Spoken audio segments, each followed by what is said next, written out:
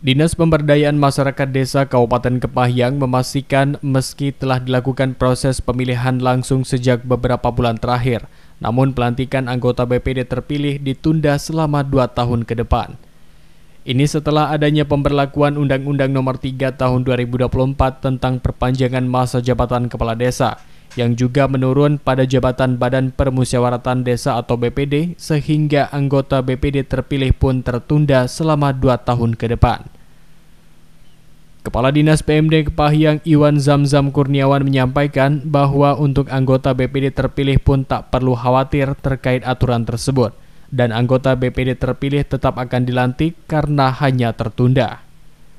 Keluarnya Undang-Undang Nomor 3 2024 ini uh, otomatis BPD yang uh, apa namanya yang yang lama itu diperpanjang. Diperpanjang, diperpanjang selama dua tahun. Terhadap desa-desa yang telah melakukan pemilihan, kita juga di dalam surat bupati itu juga disebutkan tetap melanjutkan uh, mekanisme pemilihan sampai pada pemilihan atau dihentikan. Itu kewenangannya ada di Meskipun beberapa desa yang masuk jabatan BPD telah habis dan dilakukan pemilihan, Dinas PMD mempersilahkan desa melaksanakan pemilihan sesuai aturan. Namun untuk pelantikan tetap ditunda.